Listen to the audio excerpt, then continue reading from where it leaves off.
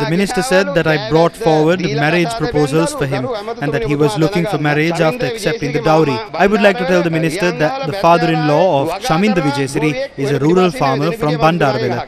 You can ask MP Denipitiya about it as well.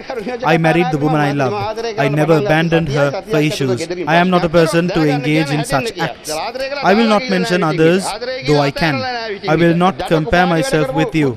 We are like the two polar ends. I will not slander anyone's personal life, but if you try to slander me, I will not falter. We can start about it with the legal action filed by Sujiva Senasinghe. I will respond to what he had said. I am not a person who built hotels after entering the provincial councils and the parliament. I do not have secret bank accounts.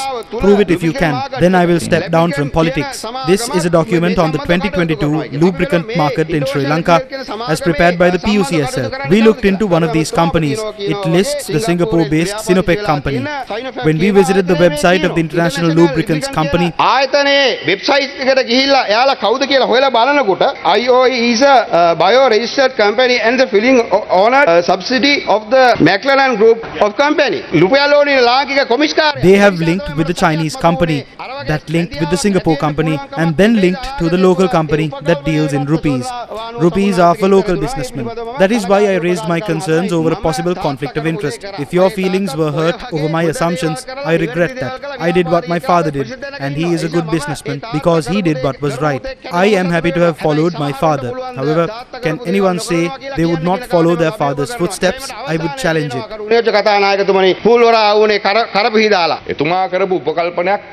නියෝජ්‍ය කතානායකතුමනි පූල්වර ආවුනේ කර කරපිහිදාලා එතුමා කරපු උපකල්පනයක් පුවත්පතේ ප්‍රධාන සිරස්තලයක් බවට පත්වීමෙන් මගේ වරප්‍රසාද කඩ වෙලා තියෙන. ඒ නිසා මම The assumption he made became the main headlines in a newspaper and it violated privileges.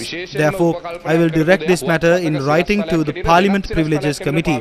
The aim was to use this assumption to get a different headline. If one using Parliament privileges to make assumptions, to make allegations, that is violation of privileges of all MPs. If there is an allegation, one can move to court, the Bribery Commission or even the CID, ID, but no one does it. යන්න එහෙම නැත්නම් අපරාධ පරීක්ෂණ දෙපාර්තමේන්තුවට යන්න ඕනම ආයතනයට යන්න. හැබැයි කවුරුවත් එහෙම යන්නේ නැහැ. වනප්‍රසාද කමිටුවට take it before the privileges committee. I am not afraid. The privileges committee is like Batalanda.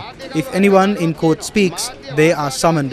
If anyone speaks to the media, they are summoned. The media reported what Chaminda Wijesiri said. Do not make this a Batalanda.